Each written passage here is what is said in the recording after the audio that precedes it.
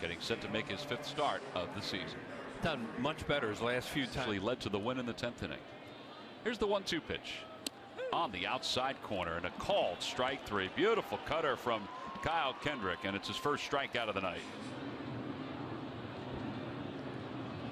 Swing and a miss. He got it with the cutters.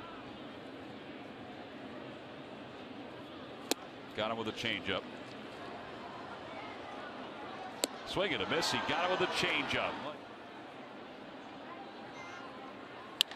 Over toward third. Michael Young it's time to get to a knee. Flip over to second. Easier to say that too when you have four runs.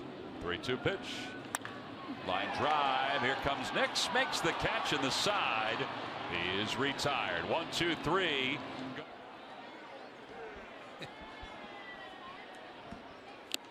And a foul tip and a strikeout for Kendrick, his fifth of the ball game.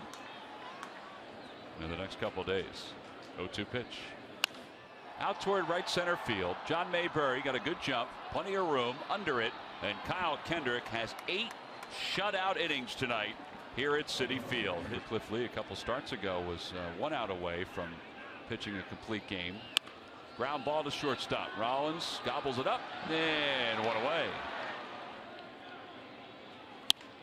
Over to third. Michael Young to his left a couple steps. Two outs here in the bottom of the ninth inning. He's got his signs and he's ready with a one two pitch. Ground ball towards shortstop. This should do it. Rollins has got it. Throws across the diamond. And Kyle Kendrick has twirled his second shutout of his career as the Phillies have defeated the New York Mets four to nothing.